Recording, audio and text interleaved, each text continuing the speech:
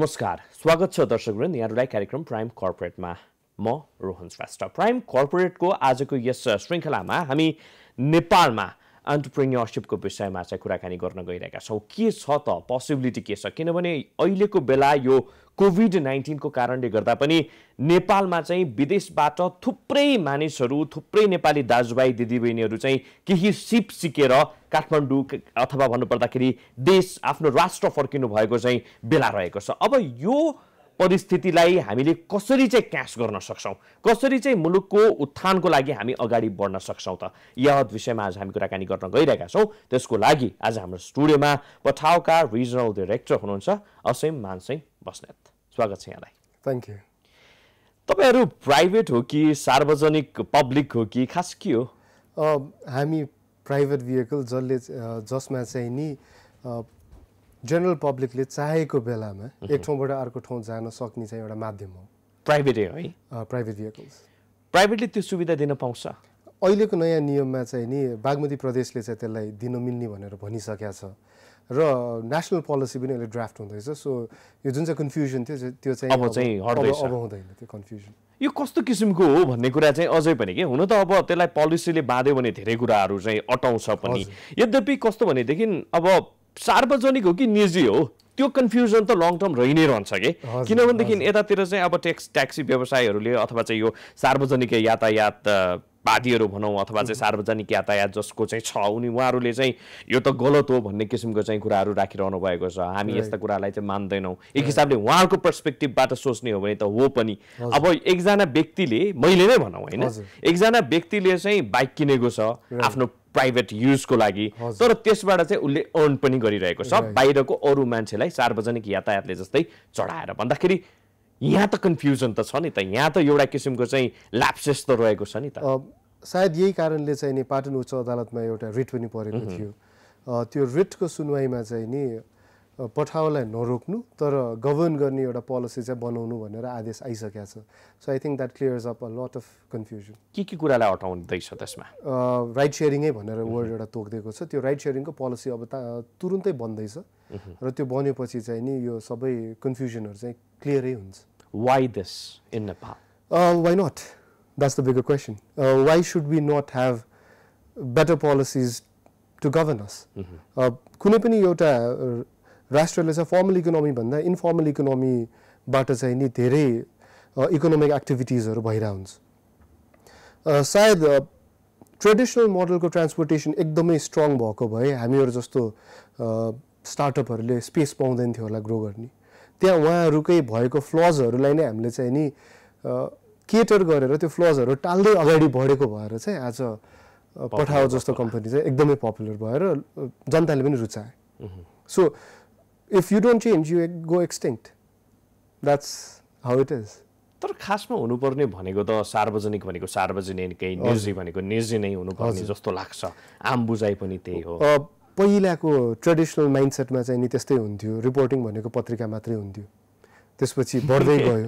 So आज त citizen reporter भन्ने कुरा पनि आछ सिटिजन जर्नलिजम हजुर। So that's how people change तपाईँले अघि कुराकानीको सन्दर्भमा नि कुराकानीको सिलसिलामा चाहिँ इम्प्याक्टको कुरा गर्नुभयो होइन? नेसनल इकोनोमीमा इम्प्याक्ट हजुर। This is creating or this is contributing भनेर भनौँ हजुर, त्यो टर्म इज राइट टर्म होइन? हजुर। हाउ एउटा रिसोर्स जुन चाहिँ नि हामीले किनेर पनि किन्न नसक्ने भनेको टाइम हो, समय। हामीले समय बेचिरहेछौँ। हामीले समय कमाइरहेछौँ। पहिला सार्वजनिक यातायातमा दुई घन्टा दैनिक अ, चढ्न पर्ने मान्छेले आज आफ्नो गन्तव्य गएर आफ्नो अफिस गएर फर्किनको लागि पैँतालिस मिनटदेखि पचास मिनटमा गर्न सक्नु भएको छ। त्यो जुन चाहिँ सार्वजनिक यातायातमा बसेर खेरा गइरहेको समय चाहिँ नि उहाँहरूले किनिराख्नु भएको छ। र त्यो समय चाहिँ उहाँहरूले अरू केही प्रोडक्टिभ काम गर्नुहुन्छ। एउटा एक्जाम्पल हामीले चालिस हजार राइड पर डे गर्थ्यौँ भने एकदम कममा पनि चालिस हजार घन्टा दिनको चाहिँ नि हामीले हाम्रो अर्थतन्त्रमा फिर्ता दिइरहेका छौँ। अर्को पहिला छ सात बजेपछि सबजनालाई घर जान हतारै हुन्थ्यो। आफ्नो निजी साधन छैन भने उहाँहरूले कुरेर धेरै बेर काम गर्छु म अलिकति काम सघाउँछु भन्न सक्ने अवस्थामा हुनुहुन्न थियो। अहिले राति बाह्र एक दुई बजेसम्म पनि काम गरेर केही गर्न सक्नुहुन्छ। यो चाहिँ नि अहिलेको हामीले र हामी जस्ता धेरै कम्पनीहरूले गरेको एउटा सानो सहयोग मात्र हो नेपालको अर्थतन्त्रलाई। यो इम्प्याक्ट दिनको चाहिँ नि चालिस हजार त ट्राफिक जामबाट बचाएको र एक दुई घन्टा अरू एक्स्ट्रा काम गरेको इम्प्याक्टले चाहिँ नि नेपालको अर्थतन्त्रलाई नै टेवा दिन्छ भनेर चाहिँ म चाहिँ त्यसमा विश्वास गर्छु। त्यो बाहेक इकोनोमीको पनि यो इम्प्लोइमेन्टको पनि ठुलो अपर्च्युनिटी आएको छ। कोही मान्छेले चाहिँ नि म पढ्दैछु भनेर ऊ फुल टाइम स्टुडेन्ट हुनु परेन। अब उसले दिनमा तिन घन्टा चार घन्टा काम गरेर म केही आम्दानी गर्छु। मेरो घर परिवारबाट लिने पैसा मात्र लिन छोड्यो भने पनि त्यो चाहिँ नि डिस्पोजेबल इन्कममा जान्छ फ्यामिलीको डिस्पोजेबल इन्कममा त्यो कहाँ जान्छ? त्यो खर्च हुन्छ। त्यो इकोनोमीमै खर्च हुन्छ र इकोनोमी ग्रो गर्दै जान्छ। जुन चाहिँ नेपालमा पहिला बिरलै थियो एउटा स्टुडेन्टले चाहिँ नि म आफ्नो पकेट मनीको लागि काम गर्छु भन्ने अपर्च्युनिटी नै अपर्च्युनिटी नै थिएन भने आज त्यो अपर्च्युनिटी पनि आएको छ। त्यस्तै एडिसनल इन्कमको लागि अफिस गोइङ पिपलले पनि बिहान र बेलुका एक दुई घन्टा काम गरेर पेट्रोल खर्च निकाल्नु भनेको पनि उहाँको आफ्नो डिस्पोजेबल इन्कम चाहिँ बढाउनु हो। यो त ठुलो इम्प्याक्ट हो। जुन चाहिँ नि मान्छेले त्यति गहन सोचसँग सोच सोच्नु भएको चाहिँ छैन। उहाँहरूले चाहिँ पठाउ भनेको त मोटरसाइकल हो एक ठाउँबाट अर्को ठाउँ पुऱ्याउँछ मात्र सोच्नु भएको छ। तर यसले गरेको इम्प्याक्टहरू पछाडि हेर्दै गयो भने एकदमै धेरै छ। भन्नाले नेसनल लेभलको इकोनोमीमा एउटा हिसाबले इम्प्लोइमेन्ट जेनेरेट त आफ्नो ठाउँमा छँदैछ। त्योदेखि बाहेक आएर चाहिँ वर्किङ आवर्सको कन्ट्रिब्युसन आफ्नो ठाउँमा छ होइन? त्योदेखि बाहेक आएर इकोनोमीकै कुरा गर्ने हो भने वाट एल्स त? मोनिटरी रूपमा अथवा चाहिँ त्यो रेट वाइज भनेर भनिन्छ नि त्यसमा चाहिँ कन्ट्रिब्युसन कसरी हुन्छ? सो एउटा सानो हामीले एक्सपेरिमेन्ट गरेका थियौँ। त्यो एक्सपेरिमेन्टमा चाहिँ के गर्यौँ भन्दा रिङ रोडभित्रको पठाउ भर्खर सुरु हुँदाखेरिको स्पिड अफ लाइफ भनेको मलाई एक ठाउँबाट अर्को ठाउँ जाँदा म गाडीको कुन रफ्तारमा चाहिँ जान्छु भनेर म हामीले प्याक गरेका थियौँ। र एक वर्षपछि त्यही टाइममा चाहिँ हामीले हेर्दाखेरि पहिला हाम्रो स्पिड अफ लाइफ चौध किलोमिटर पर आवर थियो। भने एक ठाउँबाट अर्को ठाउँ जानलाई मेरो स्पिड चाहिँ चौध किलोमिटर थियो भने अहिले सत्र किलोमिटर भइसकेको छ। त्यसमा दुई तिनवटा कन्ट्रिब्युटिङ फ्याक्टर छ। एक पूर्वाधार विकास पनि हो। पूर्वाधार एकदमै राम्रोसँग विकास भएर स्पिड बढायो हो भने दुई मान्छेहरूले अनवान्टेड चाहिँ आफ्नो गाडी बाहिर निकाल्न छोड्नु भयो। कि म पठाउमा जान्छु छिटो पनि पुग्छु पार्किङको पनि झन्झट हुन्न भनेर उहाँहरूले एकजना चढ्दाखेरि चाहिँ नि आफ्नो गाडी निकाल्ने कल्चरै बिस्तारै घट्दै गयो। र ट्राफिक जाम पनि त्यो कारणले घट्दै गयो र हाम्रो स्पिड अफ लाइफै बढाएछ। These are very small impacts that Pathao has made in Nepal जुन चाहिँ मान्छेले मापन गर्न एकदमै गाह्रो हुन्छ। दिस सर्ट अफ कन्सेप्ट नि यसलाई एउटा कन्सेप्टमा जाउँ होइन पठाउ मात्रै नभनौँ यसलाई एउटा कन्सेप्टको रूपमा हेरौँ। यो कन्सेप्ट कसको लागि? जनताको लागि। Or middle class upper class सबै सबैको लागि। गरिब भयो भन्दा मोटरसाइकल चढ्न नसक्ने पनि हुँदैन। तर मोनिटरी वाइज तुलना गर्ने हो भनेदेखि त त्यो रेसियो त एकदमै उ छ नि त होइन। अब नर्मल सार्वजनिक यातायात चढ्नेहरूको लागि पठाउ माइट बी अलिकति महँगो कहिलेकाहीँ चढ्नको लागि इज फाइन हतारको बेलामा इज फाइन होइन। तर सधैँको लागि might not be okay right so what happens जब चाहिँ गभर्मेन्टले सार्वजनिक यातायातमा सोसियल डिस्टेन्सिङ मेजर्सहरू लगाएर मान्छे उभिन नदिएपछि सार्वजनिक यातायातको कस्ट कति हुन्छ त? त्यो बेलाको अल्टरनेटिभ खै? So can I afford that पहिला चाहिँ म पच्चिस रुपियाँमा चढिरहेको थिएँ भने अहिले थ्री टाइम्स हुने चान्सेस छ। What about social distancing in the motor bike social डिस्टेन्सिङको because त्यो जो मान्छे चढ्छ नि राइडर अथवा चाहिँ जसले चलाउँछ नि होइन उनीहरू बिच त कुनै पनि किसिमको चाहिँ कनेक्सन त्यहाँ त हुँदैन। सो सोसियल डिस्टेन्सिङको सट्टा सोसियल बारिङ भन्ने पनि गर्नु मिल्छ। So we can be very close तर हामीलाई प्रोटेक्ट गर्ने केही कुरा राखिदियो भन्ने चाहिँ नि would make more sense social distancing गर्नुपर्ने रिजन चाहिँ नि के भन्दाखेरि we are not following proper hygiene for an example म मेरो मुख छुन्छु अर्को मान्छेलाई छोइदिन्छु क्रस कन्टामिनेसन हुनसक्छ। What if we make sure कि हाम्रो राइडरहरू चाहिँ नि प्र प्रपर प्रोटेक्टिभ गियरमा हुनुहुन्छ? उहाँहरूले एभ्री राइडपछि चाहिँ नि आफ्नो भेहिकल सेनिटाइज गर्नुहुन्छ जहाँ जहाँ छोइन्छ त्यो ठाउँ सेनिटाइज गर्नुहुन्छ। कोही कस्टमरलाई चाहिँ नि मास्क अनिवार्य गरेर मात्र चढाउनुहुन्छ र उहाँ चढ्ने बेलामा र ओर्लेपछि फेरि हात सेनिटाइज गराउनुहुन्छ भने that minimizes all the contact points जुन चाहिँ नि पब्लिक भेहिकलमा गर्न एकदमै गाह्रो हुन्छ। एक कन्फाइन्ड। एक ठाउँ एकजनाले हाँच्यो गऱ्यो भने त्यो भाइरस चाहिँ धेरै बेरसम्म त्यहीँ भित्र घुमेर बस्दिन्छ। सबै झ्याल खोल्यो भने पनि इट इज नट द्याट कि त्यो त्यो छेउछेउमा वर अगाडि समात्ने ठाउँमा साइडमा समात्ने ठाउँमा सिटमा कन्टामिनेसन हुनसक्छ। आफू उठेपछि त सफा गरेर जाने चलन पनि छैन र क्लिनर भेहिकल क्लिनरले चाहिँ नि एभ्री टाइम कोही मान्छे उठ्नुभयो भने त्यो सिटलाई सेनिटाइज गर्न सक्ने प्र्याक्टिकल प्र्याक्टिकल्ली त्यो सम्भव पनि छैन। So I think two wheelers would be more safe four विलर्सको केसमा चाहिँ नि with thinking of having a film between the rider and the customer र कस्टमरलाई एभ्री टाइम चाहिँ नि चढ्नुभन्दा अगाडि तपाईँ आफ्नो चित चित्त बुझाउनुलाई आफै सेनिटाइज गर्नु भनेर सेनिटाइजर स्प्रे पनि राख्न सकिन्छ बाहिर कसरी गरिरहेको छ? किनभनेदेखि त अब यो त हाम्रो नेपालमा मात्रै त होइन होइन? बाहिरतिर पनि छ भन्दाखेरि बाहिर कसरी यो चाहिँ अगाडि बढिसकेका छ चलाउन थालिसकेको छ, हुन त अब नेपालमा दुईजनाको कुराहरू पनि आएका थिए। अल बिकज अफ दि यही यसरी नै चाहिँ राइड हुन्छ भन्ने किसिमकै कुराले गरेर चाहिँ। फ्यामिली मेम्बरलाई पनि सँगै बस्नु नदिने। इन अ सेन्स बाइकमा भन्ने किने किसिमका चाहिँ कुराहरू पनि आएका थिए भन्दाखेरि कसरी बाहिरतिर चाहिँ यो बाहिर? फोर विलर्समा चाहिँ नि प्रोटेक्टिभ फिल्म एउटा प्लास्टिकको सिट राखिदिनुहुन्छ। त्यो सिट राखेपछि पछाडि बस्ने कम्प्युटर र ड्राइभरको बिचमा केही पनि कन्ट्याक्ट हुँदैन। पेमेन्टको इस्युमा बाहिर चाहिँ नि डिजिटल पेमेन्ट यति एडभान्स छ कि उहाँहरूले राइड एन्ड गर्न पाएछन् अटोमेटिकली डिडक्ट पनि हुन्छ। नेपालमा त्यति लेभलको इन्फ्रास्ट्रक्चर डेभलप भएको छैन।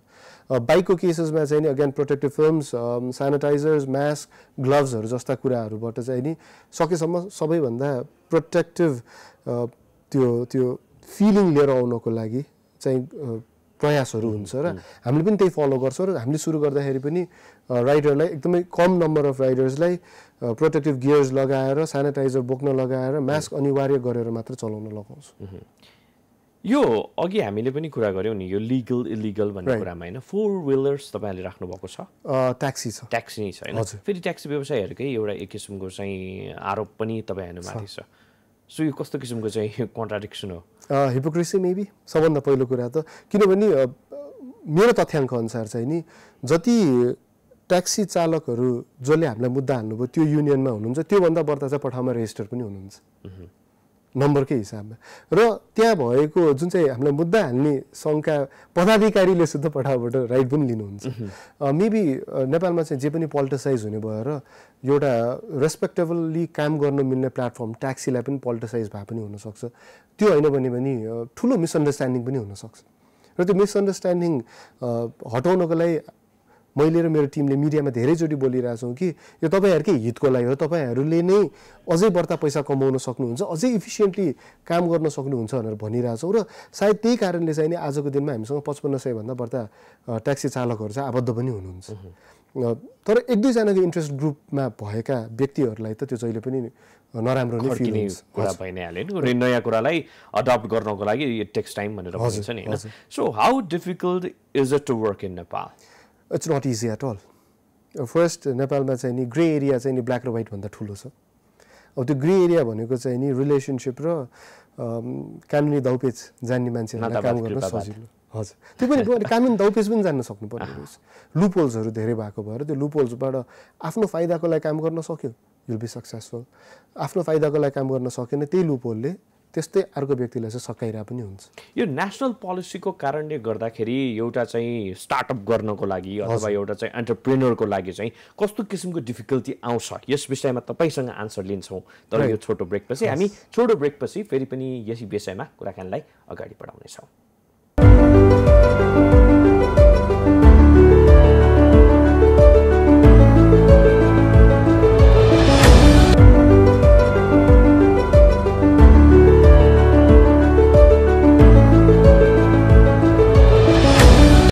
ब्रेकपछि पुनः स्वागत छ। दर्शकवृन्द आज हामी नेपालमा चाहिँ यो स्वरोजगारको विषयमा कुराकानी गरिरहेका छौँ। त्यसको लागि आज हाम्रो स्टुडियोमा पठाओका रिजनल डाइरेक्टर असीम मानसिंह बस्नेत आज हामीसँग हुनुहुन्छ। फेरि पनि स्वागत छ यहाँलाई। थ्याङ्क यू यो अघि ब्रेकमा जानुभन्दा अगाडि नि होइन यो पोलिसीगत रूपमा चाहिँ कस्ता किसिमका चाहिँ डिफिकल्टिजहरू आउँदो रहेछ नेपालमा काम गर्नको लागि भनेर चाहिँ मैले प्रश्न गरेको थिएँ। हजुर। के भन्नुहुन्छ? कस्ता किसिमको तपाईँको पठाउकै कुरा गर्ने हो भनेदेखि चाहिँ के के भए? रेजिस्ट्रेसन सबभन्दा पहिला त रेजिस्टर गर्नै गाह्रो भयो। नेपालमा रेजिस्टर गर्नको लागि चाहिँ नि स्पेसली बाहिरबाट इन्भेस्टमेन्ट आइरहेछ भने कुन चाहिँ नि कम्पनीको प्याटर्नमा समात्ने भन्ने नै एकदमै गाह्रो थियो। सो पठाउलाई रेजिस्टर गर्नको लागि सुरुमा चाहिँ कम्प्युटर सर्भिस प्रोभाइडरमा रेजिस्टर गर्नु परेको थियो। App based computer service provider जुन चाहिँ नि हाम्रो कोर बिजनेस हो तर त्यो सबै business पनि भयो। एकदमै एकदमै नयाँ कन्सेप्ट एकदमै फ्रेस कन्सेप्ट भएको भएर पनि त्यस्तो किसिमको चाहिँ डिफिकल्टिजहरू आएका होलान्। हजुर। अब अनि हामीले हामी मात्र एउटा राइड सेयरिङ कम्पनी त नेपालमा होइन धेरै छन्। यत्रो भएपछि त्यो पोलिसिजहरू बिस्तारै चेन्ज गर्दै पनि जानुपर्ने हुन्छ। जुन नेपालमा चाहिँ एकदमै यो ब्युरोक्रेटिक लेभलमा चाहिँ एड्याप्टेसन अलिकति ढिलो हुँदै जान्छ। उहाँहरूले चाहिँ पहिलादेखि चलेर आइरह हो। म किन नयाँ इनो इनोभेसन लिउँ वा किन इनिसिएटिभ लिउँ भनेर चाहिँ उहाँहरूले सायद गर्नु पनि हुन्न होला र तलतिर धकाल्दै जानुहुन्छ होला। एउटा कारण त्यो छ भने दोस्रो चाहिँ रिसेप्टिभ हुनुहुन्न। हामीले नयाँ कुनै आइडिया लिएर गएर सर यस्तो यस्तो छ। हामीलाई यो यो पर्मिसन चाहियो भने त्यो त्यति रिसेप्टिभ चाहिँ हुनुहुन्न। मेबी रिस्क फ्याक्टर होला। मेबी नेपालको नियमै यस्तो छ कि ब्युरोक्रेसीले आफ्नो स्कोप अफ वर्कभन्दा अलिकति बाहिर जान पाएको छैन उहाँहरूलाई चाहिँ नि अरू निकायले दुःख दिने पनि हुनसक्छ होइन? Way very stringent in terms of our system त्यसपछि कहाँ जाने त हामी? न्याय माग्नु भन्ने कुरा पनि हुन्छ। होइन? न्याय माग्न जाँदाखेरि त हामी प्रोटोकल्सहरू मेन्टेन गर्दै जान्छौँ। जहाँ जाँदाखेरि पनि अलिकति फ्रिक्सन चाहिँ हुँदो रहेछ। नयाँ आइडिया भन्नु पाएको छैन। म त्यो छुन चाहन्न भन्ने जस्तो चाहिँ हुँदो रहेछ।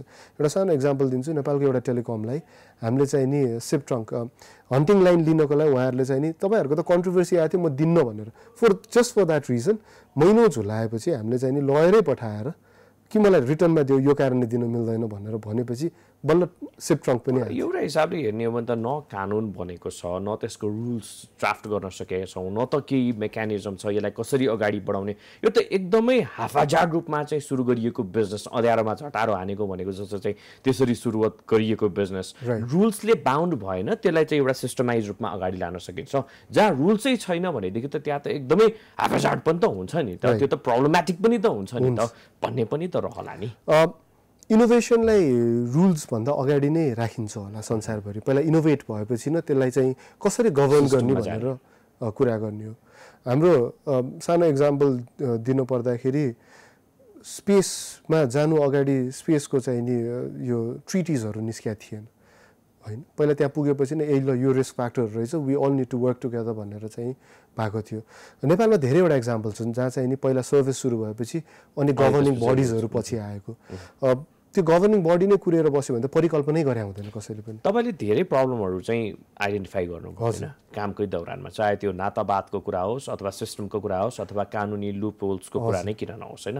यो सबै कुरालाई चाहिँ बेसमा राख्ने हो भने एउटा चाहिँ एकदमै राम्रोसँग चाहिँ यसलाई निहाल्ने अझ भन्नु पर्दाखेरि सूक्ष्म रूपमा विश्लेषण गर्ने हो भने अघि हामीले यो कोभिडको प्रसङ्ग पनि अलिकति जोड्यौँ। नेपालमा थुप्रै नेपालीहरू चाहिँ यति बेला फर्किरहेको अवस्था छ। अब उनीहरूलाई यहीँ नै रिटेन गर्ने यहीँ नै उनीहरूलाई चाहिँ स्वरोजगारी क्रिएट गर्ने भनेर जुन ठुला सपना बाँडिरहेको छ नि अहिलेको गभर्मेन्टले भनौँ होइन। कतिको पोसिबिलिटी देख्नुहुन्छ? म चाहिँ देख्छु। म चाहिँ देख्छु। रिजन के भन्दाखेरि विदेशबाट आउने साथीहरू सिप मात्र होइन अलिकति पुँजी पनि लिएर आउनुहुन्छ। उहाँहरूको सेभिङ त छ सानो सेभिङ भए पनि। त्यो सेभिङलाई बाट र त्यो उहाँहरूसँग भएको सिपहरूलाई राम्रोसँग म्यानेज गर्ने र गभर्मेन्टले पनि त्यसलाई सपोर्ट गर्ने हो भने धेरै लुपोल राखेर एउटा कम्पनी रेजिस्टर गर्दाखेरि नै आधी पुँजी सकिन्छ भने त कसैले पनि त्यो रेजिस्टरै गर्दैन। तर सजिलो बनाएर मेबी एउटा स्ट्यान्डर्ड प्रोटोकल मेन्टेन गरिदियो भने उहाँहरूले त्यो इन्भेस्टमेन्ट चाहिँ यहीँबाट गरेर बिस्तारै ग्रो चाहिँ गर्न सक्नुहुन्छ होला। I was always very optimistic to come back to Nepal म पनि बाहिरै बसेर बाहिर पढेको मान्छे। तर नेपाल आउँदाखेरि चाहिँ मैले के सोच्थेँ भने गाह्रो छ तर गर्न सकिन्छ है भनेर सोच्थेँ। उहाँहरूले पनि त्यही सोचमा आउनुभयो म मेहनत गर्छु।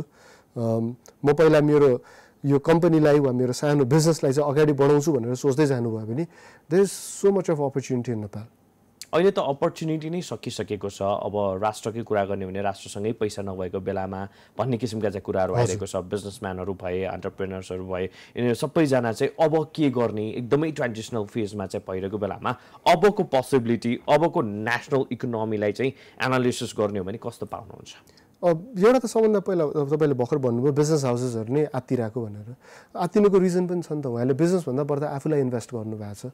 करोडौँको गाडी चढ्नुहुन्छ जबकि त्यो करोड करोडले चाहिँ अझै बढ्ता करोड लिएर आउन सक्थ्यो। होइन? त्यो मिसम्यानेजमेन्ट पनि त हो फन्डको। र एकदमै चलिरहेको एउटा कम्पनी तिन महिनामै गर्ल्याम गुर्लुम सकिन्छ भनेर चाहिँ म चाहिँ एकदमै अहिलेको कुरा यही छ। सबैजनाले के भनिरहेको छ भनेदेखि यो कोभिड नाइन्टिनको कारणले गर्दाखेरि यो त लास्ट थ्री मन्थ्समा आएको हो नि चैत वैशाख जेठ। यो फोर मन्थ्स भनौँ होइन। यो चाहिँ के भने ट्राइमेस्टर थ्री मन्थ्स कुरा गर्ने हो भनेदेखि ट्राइमेस्टरको कुरा थ्री मन्थ्सलाई ब्याकड्रप राख्ने हो भनेदेखि। भनेपछि बाँकीको इकोनोमी कता गयो त? बाँकीको यो हाम्रो त इकोनोमी नै मोबिलाइज भएको थिएन त। म त्यो भन्ने किसिमको चाहिँ एउटा चाहिँ ठुलो क्वेसन मार्क चाहिँ लिएर आउँदो रहेछ। अफेक्ट गर्दो रहेछ। गर्न त गर्छ तर त्यो आफू लेभलमा भन्ने कुरा? त्यही त अब त्यो पहिलादेखि नै चाहिँ नि मलाई भवितव्य पर्दाखेरिकोलाई भनेर नसोच्यो भने त अभियसली अफेक्ट गर्छ नि। मैले त्यो त कस्तो भयो भन्दाखेरि एउटा म्यानुअल लेबरले आज कमाइ म आजै रक्सी खान्छु आजै मासु खान्छु भोलिको मतलब छैन भने जस्तै त्यो लेभलमा चाहिँ नि थट प्रोसेस राख्यो भने त बिजनेस डुब्छ त। होइन? मैले आज हजार रुपियाँ कमाइ म छ सय रुपियाँको रक्सी खान्छु बाँकीको मासु खाएर सकाउँछु भन्यो भने त अभियसली भोलिपल्ट त केही पनि हुँदैन भोलि जागिर पाए काम पाएन भने त भोकै परिन्छ तर वेस्ट टु वेस्ट केस सिनारीमा मैले चाहिँ नि यति महिनाको मेरो स्यालेरी मैले बचाएर राखेको छु मेरो रेन्ट बचाएर राखेको छु भन्यो भने त त्यो त बफरै हो नि। त्यो नगर्नु हो भन्यो भने त अब के? अब हामी कसरी अगाडि सो अब इन्फर्मल इकोनोमीले चाहिँ नि देश बचाउँछ। फर्मल इकोनोमी कल्याप्सै भयो भनेर चाहिँ नि बिजनेस पिपलले नै भनिराख्नु भएको छ। इन्फर्मल इकोनोमीलाई त खासै फरक परेको छैन त। सो इन्फर्मल इकोनोमीले चाहिँ नि अब सायद नेपालको इकोनोमीको मेरुदण्ड नै बन्नुपर्छ and I think Pathao is one of them जसले चाहिँ नि थाउजन्ड्स एन्ड थाउजन्ड्स अफ पिपललाई चाहिँ नि आफ्नो प्लेटफर्ममा लिएर आएर उहाँहरूलाई at least dignifiable amount of money चाहिँ अर्न गर्ने एउटा बाटो पनि खोलिदिन्छ। र कस्टमरलाई पनि आफ्नो सेफ्टी र सिक्योरिटीको कारणले चाहिँ नि पब्लिक भेहिकलभन्दा राइड सेयरिङमा चाहिँ नि आकर्षण लिएर आउँछ र मैले चाहिँ नि अब मेबी दस पन्ध्र बिस हजार मान्छेलाई चाहिँ प्रपर इम्प्लोइमेन्ट दिन सक्छु भने म जस्ता अरू धेरै कम्पनी धेरै कन्सेप्टहरूले पनि यसरी नै मान्छे अब्जर्भ गर्दै जान्छ र यो जुन चाहिँ प्रब्लम छ त्यसलाई चाहिँ केही हदसम्म सल्भ चाहिँ गर्छ। यो फर्मल र इन्फर्मलको कुरा गरिरहँदा तपाईँले चाहिँ अब इन्फर्मल इकोनोमीतर्फ चाहिँ हामी जानुपर्छ भनेर भनिरहँदा लिगल कुराहरू पनि त आउला नि। त्यो त गभर्मेन्टले बनाउँदै जान्छ नि त। नयाँ कन्सेप्ट आएपछि यसलाई गभर्न गर्न म यस्तो बनाउँछु भनेर अगाडि बढ्दै जान्छ। टु थाउजन्ड नाइन्टिन जनवरीमा क्राइसिस सुरु भयो। त्यसो हो भनेदेखि त जे गर्दा पनि हुन्छ भन्ने जस्तो भयो नि त भएन सो कन्स्टिट्युसनली इलिगल भनेको कुरा त गर्नु भएन। होइन? तर ग्रे एरिया अघि मैले भनिहालेँ ग्रे एरिया यसलाई राइट भन्ने कि रङ भन्ने कसरी अगाडि बढाउने भन्ने कुरामा परेकोलाई चाहिँ नि गभर्मेन्टले बिस्तारै बाँध्दै लानु पनि पर्छ। अनि त्यो बाँध्दै लगेपछि त्यसबाट पनि त ट्याक्सेसनको कुराहरू राम्रोसँग लुपोल्सहरू टालिँदै गएपछि गभर्मेन्टको आफ्नो ट्याक्स पनि त दायरा पनि त बढ्दै जान्छ नि। तर टु थाउजन्ड नाइन्टिन जनवरीमा भएको राइड सेयरिङको जुन चाहिँ नि त्यो विस्फोटै भएको थियो एकचोटि अहिले टु थाउजन्ड ट्वेन्टीमा आउँदाखेरि पनि पोलिसी ननिस्किनु त त्यो त गभर्मेन्टकै कमजोरी। सिस्टमको कमजोरी। गभर्मेन्ट भन्दा नि सिस्टमै हाम्रो त्यस्तो छ। तर सिस्टम ह्यान्डल गर्ने त सबै त्यही गभर्मेन्ट निकाय नै हुन्छ होइन? त्यसो भए हामीले पनि केही दोष त लिनुपर्छ नि। हामीले गएर एभ्री डे चाहिँ नि त्यो मानु यातायात व्यवस्था विभागमा गएर डिजी सरलाई सर पोलिसी सर पोलिसी भने इरिटेट भएर उहाँले छिटो पनि गर्नुहुन्थ्यो कस्तो किसिमको पोलिसीहरूलाई चाहिँ यसमा इन्क्लुड गरिएको छ? अब यो चाहिँ जुन पठाओ लगायतका चाहिँ जति पनि छ इन्फर्मल इकोनोमी अझ यसमा होइन यातायात क्षेत्रमा भन्दाखेरि कस्ता किसिमका कुराहरूलाई चाहिँ एड गरेर आइएको छ? अब स्टार्टअपको पोलिसी आएको छ जुन मैले चाहिँ नि डिटेलमा पढाएको चाहिँ छैन। र त्यसलाई सपोर्ट गर्नको लागि नेसनल नेसनल प्लानिङ कमिसनले चाहिँ नि स्टार्टअप ग्रान्ट पनि अस्ति प्रकाशन चाहिँ गरेको थियो। तिस दिनभित्र बुझाउनु तपाईँहरूले जति इन्भेस्ट गर्नुभएको छ फिफ्टी पर्सेन्ट हामी त्यसलाई चाहिँ क्यासब्याक गर्छौँ जस्तो कन्सेप्ट पनि आएको थियो which is a good mood good move सायद बिस पच्चिस करोड रुपियाँ चाहिँ इन्जेक्सन पनि हुन्छ होला नयाँ सोचको लागि। राइड सेयरिङकै कुरामा चाहिँ राइड सेयरिङ अब कुन कुन दिशातिर लिएर जाने के के समेट्ने जस्ता कुराहरू आउँछ होला? जहाँ चाहिँ राइड सेयरिङको इन्सुरेन्सको क्ल्यारिटी आउँछ? अहिलेसम्म हामीले इन्सुरेन्सै किन्न सक्दैनौँ किनभने राइड सेयरिङको इन्सुरेन्स पोलिसी निस्किएको छैन। सायद हाम्रो राइडरहरूको चाहिँ प्रपर ट्याक्सेसनको कुरा आउँछ होला। उहाँहरूलाई कुन ट्याक्स स्ल्याबबाट लिने हो कति लिने हो भनेर। र त्यो उहाँहरूले तिर्नु भएपछि पछि अरू फाइनेन्सियल एक्सेसेसहरू पनि पाउनुहुन्छ उहाँहरूले। ब्याङ्कबाट लोन लिने कुराहरूदेखि लिएर सबै पाउनुहुन्छ। हामी जस्तो कम्पनीको दायित्व के हुन्छ? इन्टरमिडिएरी ल आउँछ होला त्यसपछि। दायि दायित्वको कुरा गर्नु होइन? द्याट इज मस्ट भनेर भन्छ होइन? तपाईँहरूको दायित्व के हो? त्यही त के हुन्छ त्यो गभर्मेन्टले डिफाइन गर्दै आउँछ आफूले पनि त के किनभनेदेखि त्यो चाहिँ एउटा स्टेक होल्डरसँग छलफल त हुन्छ नि त। अनफर्चुनेटली हामीसँग चाहिँ डाइरेक्टली अहिलेसम्म यो लेटर स्टेजमा चाहिँ भएको छैन।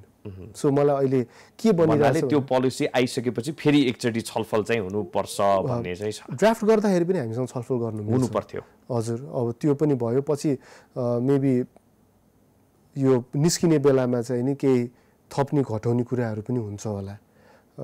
तिनीहरू भएपछि अझै क्ल्यारिटी हुन्छ। तर अहिलेको लागि मेरो दायित्व भनेको चाहिँ नि राइडरको सेफ्टी कस्टमरको सेफ्टी र त्यहाँनिर चाहिँ फेयर प्राइसिङ होस् भनेर। त्यहाँनिर कहीँ कोही नठगियोस् भन्ने कुरा हो। अब प्राइस कार्टेलिङको कुरा हुनु पाएको छैन फ्री मार्केट इकोनोमी चाहिँ डुब्नेवाला छ। सो कार्टेलिङ गर्ने हो भने हामीले त सर्भिसमा चाहिँ कम्पिट गर्ने हो। यो सेक्युरिटीको कुरालाई लिएर त्यस्तै गरेर चाहिँ इन्सुरेन्सको कुरालाई लिएर होइन अब यो चाहिँ कतिको फेयर छ त अमाउन्ट भन्ने कुरालाई लिएर पनि एकचोटि चाहिँ एकदमै ठुलो बहस पनि भएको थियो। इन्सुरेन्स चाहिँ नि हामीले लन्च गरेदेखि नै अप्रोच गर्न सुरु गरे हो। अप्रोच गर्दाखेरि उहाँहरू इन्सुरेन्स बोर्डलाई नै क्ल्यारिटी थिएन कस्तो इन्सुरेन्स चाहिन्छ भन्ने कुरा र इन्सुरेन्स बोर्डले चाहिँ नि स्वीकृति नदिएसम्म नेपालमा चाहिँ इन्सुरेन्स पोलिसी बेच्न पाइँदैन। त्यो कारणले हामीले इन्सुरेन्स किन्न कहिले कहीँ कुनैबाट पनि सकेनौँ र विदेशमा अप्रोच गर्दाखेरि एउटा राइडको चाहिँ अठार उन्नाइस रुपियाँको कस्ट आयो जुन चाहिँ नि इकोनोमिकल्ली फिजिबलै हुँदैन। र हामीले त्यसपछि रिसर्चमा चाहिँ के देख्यौँ भन्दा थर्ड पार्टी इन्सुरेन्सले मोटामोटी धेरै कुरा कभर गर्दो रहेछ।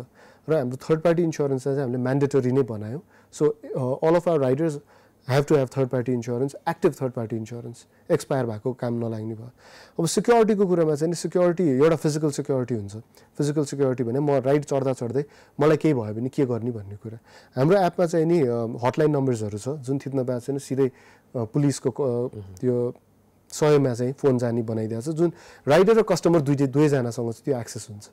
त्यसपछि राइड सकेपछि केही भएको खण्डमा के हुन्छ भन्दाखेरि तुरुन्त उहाँहरूले हामीलाई रिपोर्ट गर्न सक्नुहुन्छ। इफ देयर इज हरासमेन्ट कस्टमरले राइडरलाई ओर राइडरले कस्टमरलाई हामीले लिगल एड पनि दिएको छौँ। पुलिसकासम्म गएपछि उहाँहरूले मिलापत्र गरेर छोड्नु भएको इन्सुरेन्सहरू चाहिँ तिन चारवटा चाहिँ छ। हजुर सुरुचि धेरै धेरै धन्यवाद हाम्रो स्टुडियोमा आइदिनु भयो होइन यो पठाउसँग जोडिएका त्योदेखि बाहेक आएर अझ भन्नुपर्दाखेरि नेसनल इकोनोमीमा चाहिँ यो स्वरोजगारको भूमिका लगायतका विषयमा चाहिँ आफ्नो विचारहरू राखिदिनु भयो। यहाँलाई धेरै धेरै धन्यवाद। थ्याङ्क यू नमस्ते। दर्शक यहाँलाई पनि धेरै धेरै धन्यवाद आज हामीलाई साथ दिनुभएकोमा। हेर्दै रहनुहोला। Prime times television. नमस्कार।